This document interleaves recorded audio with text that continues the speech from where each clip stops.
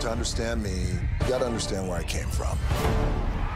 Dwayne Johnson for the 2032 U.S. presidential race. Are the people ready? They are not ready, but they need to see it.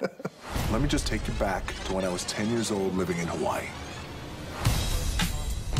I was born into a wrestling family. of course, your dad was wrestling superstar. The soul man, Rocky Johnson. To me, he was a superhero. Pay attention. We've got gladiators in the ring. I learned a lot of lessons very early on in life.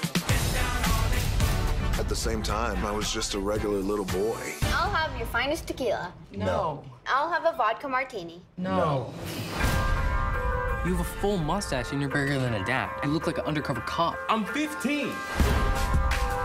I'll put you over with the guys. What, by telling him I was going to be on a Wheaties box? Surprise!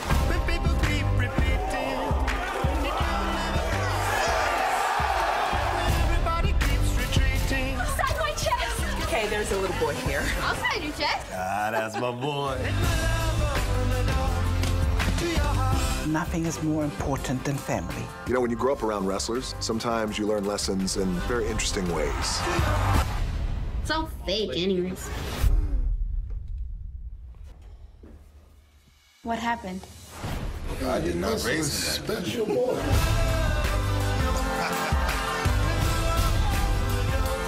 Big dreams for us. My big dream is you. I have had one hell of a life. There's still so much that I have to share with the world. Oh, and I've got some pretty cool stories about Andre the Giant.